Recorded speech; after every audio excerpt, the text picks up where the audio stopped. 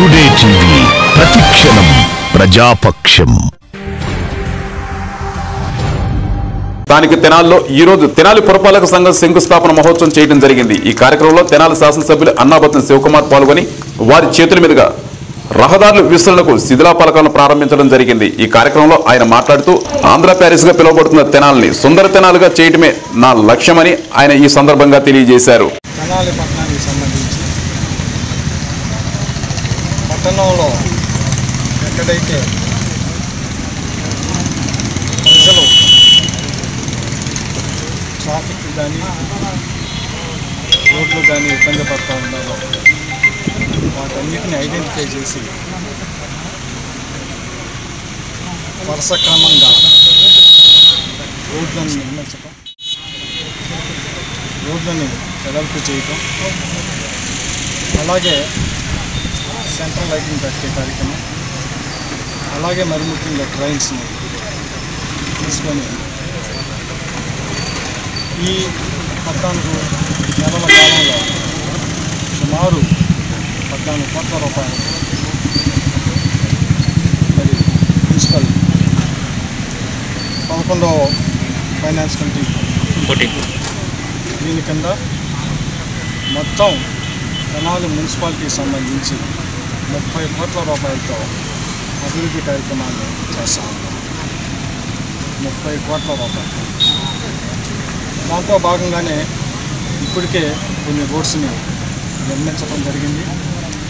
అవి కూడా తొందరలోనే కోవిడ్ కారణంగా ఇనాగ్రేషన్ చేయలే చేయబోతాం అలాగే ఈరోజు ప్రధానంగా ఏదైతే మన ప్రకాశం రోడ్డు గీతా కేఫ్ అంటే హాస్పిటల్స్ రోడ్డు గీతా కేఫ్ దగ్గర నుంచి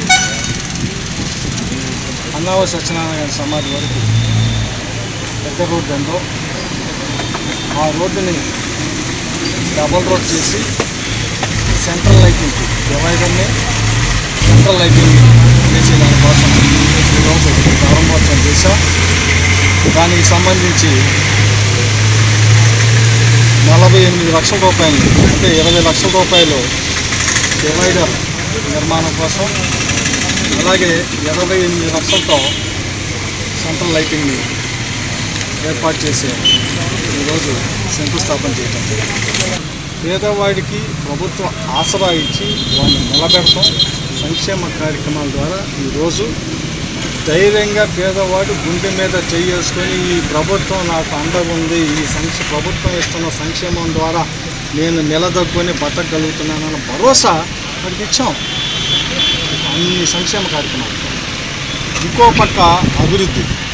మరి నేను ఈరోజు మనం ఒకసారి పరిశీలిస్తే ముప్పై కోట్ల రూపాయలతో తెనాల పట్టణంలో అభివృద్ధి కార్యక్రమాల కోసం రోడ్లని అలాగే ట్రైన్స్ని అలాగే కల్వర్స్ని అలాగే లైటింగ్కి సంబంధించి అలాగే మరి ముఖ్యంగా తెనాల ఎక్కడైతే అక్కడక్కడ గుంట్లపడ్డ రోడ్స్ ఉన్నాయో వాటన్నిటిని కూడా పెట్టించాం మనం రత్న డ్యాస్ దాటినాక గురిపాలెం వెళ్ళే రోడ్లో ఎక్కడైతే పగిలిపోయి ఉందో ఎడ్లపాట బజార్ పక్కన దాన్ని కూడా ఈరోజు పగలగొట్టి వేస్తాం అలాగే అక్కడ ఆ, శ్మశానంకి వెళ్ళే రావు మధ్యలో కలవట్టుకి అక్కడ కూడా పగిలిపోయి ఉంటాయి ఇవన్నీ పెడతా ఉంటారు? ఎక్కడైతే టౌన్లో రోడ్లు అక్కడక్కడ కుంగి పగిలిపోయో లేకపోతే డ్రైనేజీ నిర్మాణం కోసం పగలగొట్టి లేకపోతే వాటర్ స్కీమ్ కోసం పగలగొట్టి అన్నింటినీ సరిచేసి రిపేర్ చేసి వాటన్నిటిని మళ్ళీ ఇచ్చేస్తాం. సో ముప్పై కోట్ల రూపాయలతో ఈరోజు తెనాల పట్టణంలో ఈ పద్నాలుగు నెలల్లో ఇది అభివృద్ధి కార్యక్రమాలు చేశాం.